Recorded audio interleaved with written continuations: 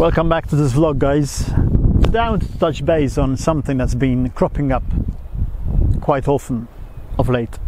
And a lot of people asking me a lot of questions. This is about recognizing the true spiritualists, mediums, occultists, people that say that they possess or they have a talent, a gift, which they seem, or some of them at least, seem to charge extortionate rates for, as they call it, predicting your future or offering guidance of a spiritual or other level. Now, let's take the practice in itself, okay? There's loads of mediums, there's loads of spiritualists, there's loads of life coaches, there's all kinds of things out there.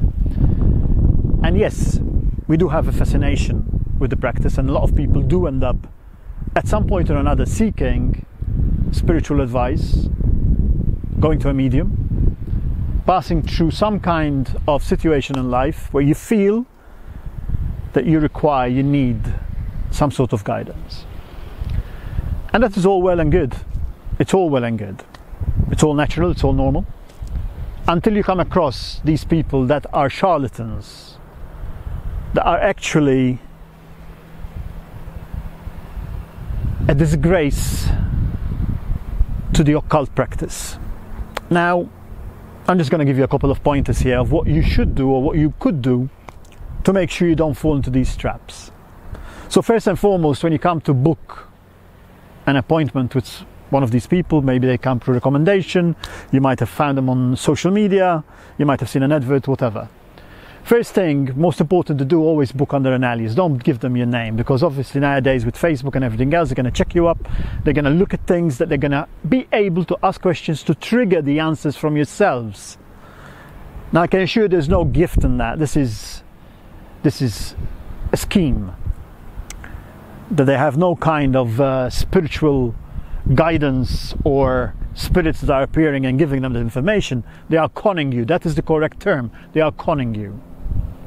So you need to make sure that you take necessary precautions. And when you actually are in front of such individual, firstly and foremostly, I have always been of the frame of mind that these people should not ask for a set fee, but they should really ask for a donation, right? Because it is down to you that have gone over there to experience this situation to be able to evaluate of how much benefit they were to yourself at that point in time and how accurate they were. Once you are there in front of them, of course, they will ask you questions, and some of them are are professional con artists. They will ask you questions to be able to denote and deliver an answer that you want to hear. It is all part and parcel of the game. So when you are there, you need to let the person doing the reading to lead you and give you those answers without being preempted to do so.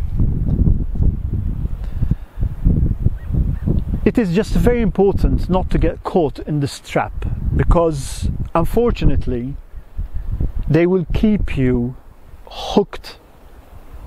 They will keep you coming back. They will tell you things that you want to hear, which will make you return and part with your hard earned cash but I can assure you there'll be no spiritual value to all that they are telling you. So please, please, always keep in mind and always be careful of these people that you are frequenting. Make sure,